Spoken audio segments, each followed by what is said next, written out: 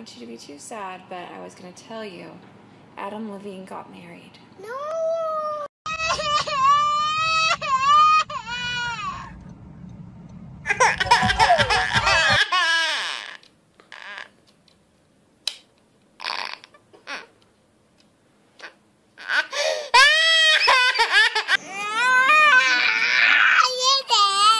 Geç. too sad, but I was going to tell you Adam Levine got married. No!